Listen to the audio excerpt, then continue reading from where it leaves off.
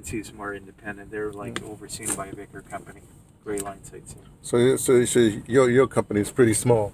But before we get into all that, go back to the coffee guy that you was talking about. Oh, that guy, yeah, the Yeah, coffee. You, you no. fir- First of all, where where where are we right now again? We're on Granville Island, which Mm-hmm. used to be an, industrial site, but developed by the government of Canada and the uh, um, engineers of Vancouver's early development. Mm-hmm. So it used to be an industrial site. To this day, we still have this industrial complex, the cement factory down here. It's been there for about 100 years, but Oh, look, they, they, they have, uh, they've designed it.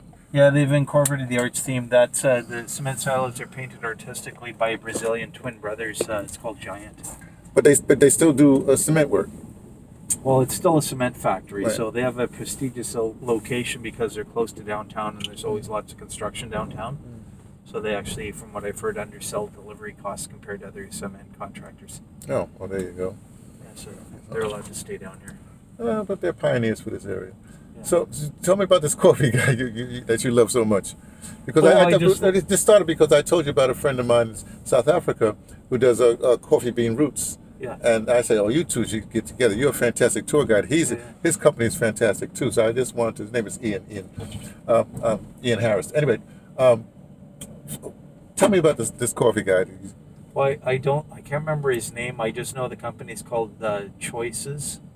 Or what is it? No, hold on a second to make sure I make, have this correct. What's it called? No, it's called Origins. Sorry.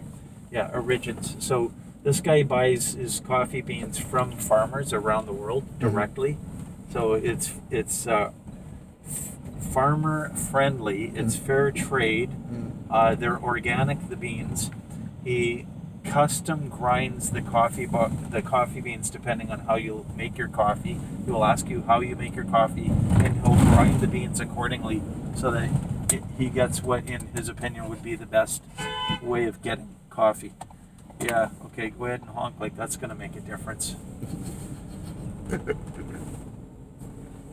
Maybe they're not really from uh, from Vancouver. No, it's a FedEx driver. He's in a hurry, Oh. but uh, he's behind me, so he's got to be a little bit patient. He can't just act like he owns the road, Mm. which he doesn't. Is that is that is that a, Vancouver attitude? You say, oh, oh right, sure. No, it's just FedEx. They're in a hurry. They're on a schedule, right? He's got packages delivering. No. he's on a time frame. So. No, but I mean your your response to him. That's my. Oh, I was just like, well, hey, you're being rude. You're behind me, and you're honking at me like as if I'm in your way. So. It was just a reaction. I understand, but the I'm person in not trying front to of be you. rude. I'm just like, hey. No, they're saying the person in front of you was, was stopping because somebody was crossing the street. So Yeah. I guess the FedEx guy didn't see that. Let- I'm gonna go for. Go back to the origin, origin origins guy, the, the Well, coffee there's guy. not much else I can say in addition to what I've already said because I don't know a lot about him personally. The mm-hmm. rare opportunity that I'm actually able to go in there and buy mm-hmm. coffee from him mm-hmm. because he is closed most of the time. I don't get a lot of time to chat with him, but I know he's a really nice guy and he's he gives me a break on the price sometimes. And Because you're a regular. yeah, and he, so he recognized me. And, hey, how's it going? Well, now you're you're- you're also a regular. In, you say you've been in Vancouver since what in the '60s? What?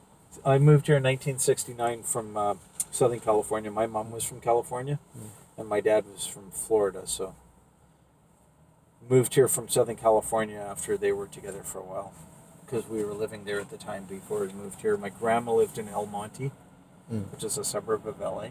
Mm-mm. We moved here from El Monte, 1969. But you also along, along your tour. What, what, now, what's your tour company called again? What's it called? Well, the company is called Land Sea Tours. Mm-hmm. And uh, they were formed in 1985, which was a key year for development of tourism in Vancouver. It was right before the World Expo, in 1986. So the company started out pretty small with uh, by two guys with one bus, and just slowly grew over time. Uh, up until the pandemic, we actually grew to having about 50 vehicles in the fleet. We had about 100 staff members. We had uh, lots of buses. We had SUVs. We had uh, vans like this one, which we we even had a luggage van. We we would uh, part of our service is picking up and dropping people off at the cruise ships Uh, before and after their cruises. If it was before a cruise, they could do a tour and then get dropped off at the cruise ship, and their luggage would be brought on board for them and brought to their stateroom. If it was after a cruise, we'd pick them up with their luggage, do a tour, and then either take them to their hotel or to the airport in time with their flight. Okay, well, let's get back to you. Now, uh, obviously, in '69, this, this didn't come out to the '80s. How did they How did they find you? How did you find find find the What's what's the company called again? Land Sea Tours. Well, Nancy, to- what- how I, I've done a lot of jobs in my life just because uh, Vancouver is an expensive place, so it creates a lot of motivation to. If you don't want to be homeless with how expensive the place is, you got to work hard to get by, right? So I've always had a lot of jobs in my life, working. So for instance, um, I used to work in the film industry a little bit, renting equipment. I've worked in retail a long time at uh, places like uh, big supermarkets, and uh, I've done restaurant jobs and stuff. Uh, I was in construction for a while as a laborer, and uh, did pretty good at that. That was my last big job before I became a tour guide. Was um, working in construction on high-rise buildings. Mm-hmm. So okay. So how did they discover you, or how did you discover them? Well, I was moving around a lot, job to job, on the in the construction thing, constantly getting laid off after each job. Mm-hmm. I got kind of tired of like that of that because I don't like sitting around not working for periods of time. So mm-hmm. I did a bit of a career decision making course. I already knew I've always wanted to be a musician, so I've never given up on that. I still do that part time. But one of the things when I did this um, career assessment course, uh, one of the things that came up as an ideal choice would be tour guide bus driver. So um, I wasn't even looking for the job. My mom phoned me up and said, "Hey, there's a job in the Georgia Straight, which is a local entertainment freebie newspaper, and uh, uh, tour guide bus driver was listed in there." So I gave him a call after my mom told me about this listing. Went in, in for an interview and got the job right away, and I've been with them ever since. so obviously it was a little sympathetic. When you say you're a mus- musician, what's your instrument? Uh, guitar is my main instrument, but I also play harmonica and I sing. Well, I should say that vocal is my main instrument because that's like the ultimate natural instrument is vocals. I like the harmonica thing. But yeah, harmonica too. It's a great portable little instrument, right? Just carry it around with it wherever you go. You can travel the world. Yeah. When, and, and, what, and what kind of music was what's your genre? Oh, it's like old uh, school authentic rhythm and blues music. Mm-hmm. Authentic rhythm and blues means blues. You say?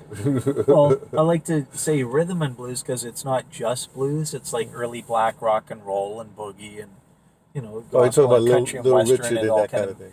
yeah, and a whole bunch of stuff kind of mixed in. I'm not necessarily just strict blues, so that's why I like to not pigeonhole it into one So- specific description. But No, no, blues is definitely yeah. the roots of it for sure. And uh, no musician should do whatever, you know. That's, but that's also, not- I'm very uh, kind of a purist as well. Like Uh-oh. I no, I mean, I, like I, I'm very dedicated to the art form, and I don't want to um, water it down by like I want to be creative in my approach and stuff, which I do. I'm trying to be myself, but at the same time, I like to be true to the art form and not lose the sense of the authenticity of it. Uh, do, do you, wh- what's your what's your band? You have a band? Are you associate band? Are you solo? What do you? Yeah, I play with other people usually in a band setting. So I've got friends that I, a network of friends that I hire depending on who's available. What, what, what what's the usual? What's the aggregation? what- What's the usual composition of the band? How many people? Uh, it's usually uh, most commonly two guitars, bass, and drums, with Oh, me doing also vocals and harmonica.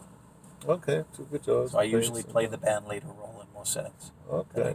It's not always like that. There, I've played in a lot of bands over my the musical part of my life, many different roles. I've I've played bass in bands before, and I've kind of like played backup guitar and stuff. But for the most part, I'm I'm a lead kind of role in a band setting. Or was that that make you? What, what are you, alpha male or something like that? What's going on here? No, it's just that that's my talent. So I, Ah. I, I don't want to ignore what I'm good at, right?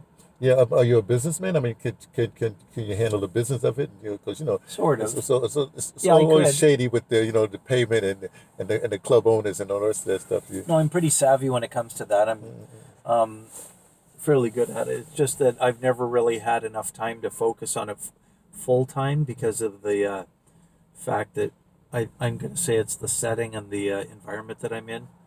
Vancouver, very corporate, not so friendly to this kind of music. It's a very limited market. The people that are all that are involved in it kind of have the market tied up. So you do have to kind of work hard and be motivated to get anything in Vancouver. So to do it full time is it's a bit of a challenge, and I've I've kind of gotten myself into a position in my life where it's um, I got to keep working basically. So it it makes it tough for me to play music full time. Mm. Well, isn't Vancouver sort of weirdly changed? Well, everything is morphing and changes, but shouldn't the music be? Yeah, there's always corporate gigs, you know, if they want to be entertained. Definitely. If you want to say this is a corporate town, but I mean, yeah. that don't you think? Not don't you think? What, what's happening at that level?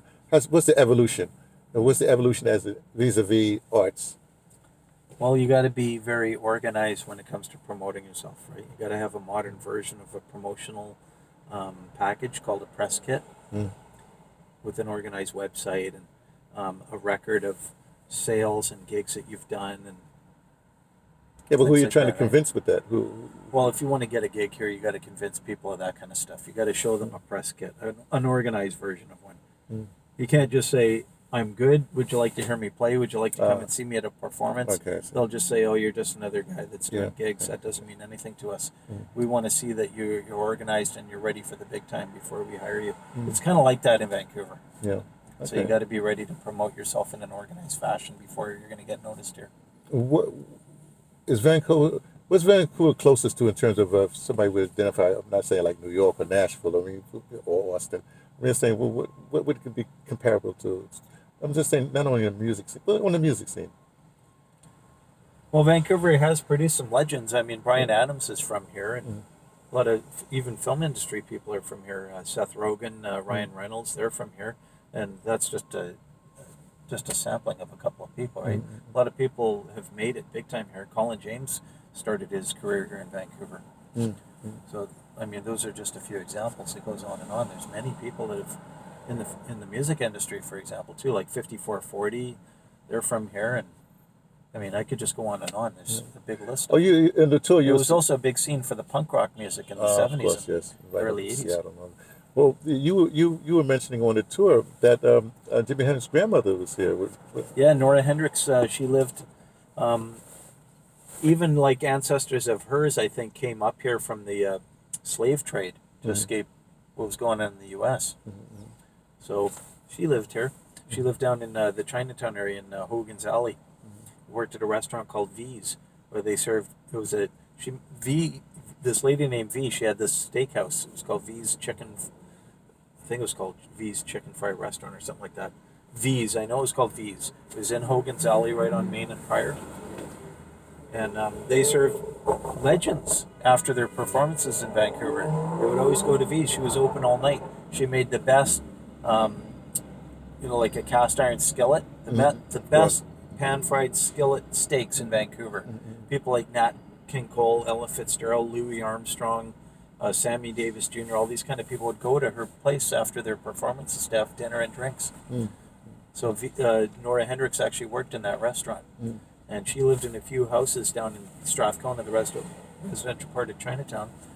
And um, so her son, Al Hendrix, lived in Seattle, where Jimi was born, and Al would send his son Jimi up here to go to school, and he would stay with Nora when she, when he was here, and he would hang out outside the restaurant when he was learning to play guitar. Mm. He would be like a regular sight. People would see him. Hey, who's this cool kid on the guitar? Okay. Kind of interesting part. Hogan's Alley was a really interesting spot. It was a mix of black, Italian, and Chinese. Mhm. Everyone got along. It was actually a really cool, uh, integrated part, a cultural spot in Vancouver. It was completely disrupted when they put in this big causeway, which was originally supposed to be an extension of the, uh, or a, a, a route for the Trans Canada Highway going through downtown. But in those days, it was like in the 1950s when they came Yeah. up with this idea to put in the highway through the middle of downtown. But they Everyone was against it. So they, the uh, causeway was built, but then they routed the highway around the outside of the city. Mm.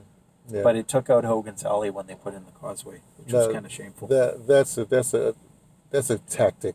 That, that, that's Robert Moses. Well, that's that- that- that's what most people say that it was actually an intentional thing to get Yeah. rid of that part Yeah. of Vancouver's culture, Yeah, but this is that all over. Integration, right? Because there was a lot of racism back in those days. well, But who knows? I mean, this is just what people say, right? I'm not, I'm not the expert on this. I I've only lived here since 1969, but Mm.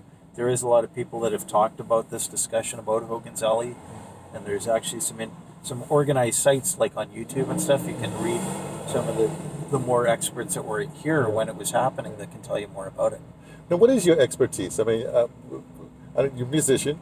Yeah. You're an excellent tour guide. What, what, everybody has more than one talent. What, what, what, what, how would you rate your expertise? What, what is your expertise? I don't want to say what you what you want to be known for. I'm just saying, what's your expertise? Well, me personally, I just think that I'm kind of, uh, well, I do consider myself good at my music, and I'd probably be better if I was playing full time, which is my goal. That's my real passion. I mean, if I was doing it full time, I think I could be as good as anybody, and that's what I intend on doing. Yeah, And wh- when I am playing all the time, I am, that's I am really good at what I'm doing. I'm Mhm. very skilled. That I'd say that's what I'm probably best at is my music. Mm, But I got to be doing it full time to be as good as I, my potential enables me to be. Right? yeah. Well, how people get in touch with you, with, you or your company? When, well, well, uh, I have to ask you a standard question. What's what's your email? Whatever. How, how do people get in touch with you? Well, I have uh, for me personally, I, I do have a website and I've got a Facebook page. Uh, actually, just a profile. I'm going to develop a page, but I do have a website as well. I'm still kind of in the finishing stages of BrentLawrence.ca. Yeah. Well, but, um, forget the tour thing. I'm, I- guess I'm your music. If somebody wants to say, "Hey, I believe in this guy," I mean, Yeah. how do they how do they contact you? Well, keep an eye out on BrentLawrence.ca. It's in nearing the completion stages of the website, and my contact information will be on there. Spell. Or you can look me up on, on Facebook as well, Brent Lawrence. Yeah, spell it. Um, B R E N T L A W R E N C E Yeah. dot ca. BrentLawrence.ca. The reason why I have to say that because you know how many different ways people spell Lawrence. Oh yeah, I know. There's the, that's the. English version. The French version is L A U instead of L A W. But I, I So learned that. mine is the English spelling. I learned that from Cape Town. You know how many different ways to, spell something like like Shirin? Yeah, Oh my goodness! I That's just, right. uh, like that. Yeah, the word Lawrence means steep hill. Really? Yeah, it's an old. It actually used to be a. Um, my, sorry, that my first name means that. My apologies. I'm getting mixed up The here. Brent. Uh, Brent means steep hill. Yeah, Mm, mm, mm, and Lawrence, the surname, is an English variation on, or an English version of the surname. Oh, okay. Uh, Brent, you supposedly, from what I heard, used to be a surname in the old days as well. Well, thank you for spending some time. Well, allowing for talking. Oh, You know, yeah. You're a good talker. pleasure. we appreciate it. Yeah, yeah. Okay. Definitely.